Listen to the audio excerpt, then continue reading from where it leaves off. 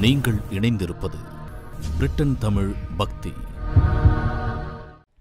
பிரதோஷ தினத்தை ஒட்டி உலக பிரசித்தி பெற்ற அண்ணாமலையார் திருக்கோவில் ஆயிரங்கால் மண்டபம் அருகே உள்ள பெரிய நந்தியம் பகவானுக்கு சிறப்பு அபிஷேக ஆராதனை ஆயிரக்கணக்கான பக்தர்கள் விண்ணதிர அருகுரா பக்தி முழக்கமிட்டு சுவாமி தரிசனம். பஞ்சபுத ஸ்தலங்களில் அக்னி ஸ்தலமாகவும் நினைக்க முக்தி தரும் தலமாகவும் விளங்கக்கூடிய திருவண்ணாமலை அண்ணாமலையார் திருக்கோவிலில் ஆயிரங்கால் மண்டபம் அருகே உள்ள பெரிய நந்தியம் பகவானுக்கு ஐப்பசி மாத வளர்ப்பிறை பிரதோஷ தினத்தையொட்டி நேற்று அரிசி மாவு மஞ்சள் தூள் அபிஷேகத்தூள் பஞ்சாமிரதம் தயிர் தேன் பன்னீர் இளநீர் சந்தனம் விபூதி மற்றும் ஆயிரம் லிட்டர் பால் ஆகியவற்றைக் கொண்டு சிறப்பு அபிஷேக ஆராதனை நடைபெற்றது.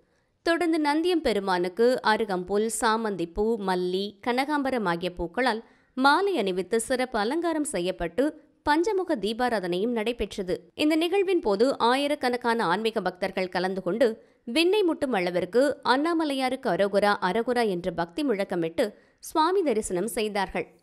பிரதோஷ தினத்தின் போது நந்திவர்மனை வழிபட்டால் நினைத்த அனைத்து காரியங்களும் நிறைவேறும். திருமணமாகாதவர்களுக்கு திருமணம் பாக்கியம் கிட்டும்.